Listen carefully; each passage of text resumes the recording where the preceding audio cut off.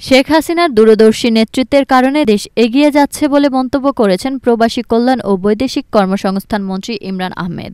শনিবার সিলেটের গুয়াইনঘাট জাফলং রাধানগরে বিভিন্ন সড়ক পরিদর্শন এবং উপজেলার সাতটি প্রাথমিক বিদ্যালয়ে ভিত্তিপ্রস্তর স্থাপন বিভিন্ন প্রকল্প উদ্বোধনকালে তিনি কথা বলেন। এ সময় উপস্থিত ছিলেন গোয়ানঘাট উপজেলা পরিষদ চেয়ারম্যান মোহাম্মদ ফারুক আহমেদ, সিলেটের নবাগত পুলিশ সুপার মোহাম্মদ আবদুল্লাহ আল মামুন এবং গোয়াইনঘাট উপজেলা নির্বাহী কর্মকর্তা মোহাম্মদ তাহমিলুর রহমান সহ অন্যান্যরা।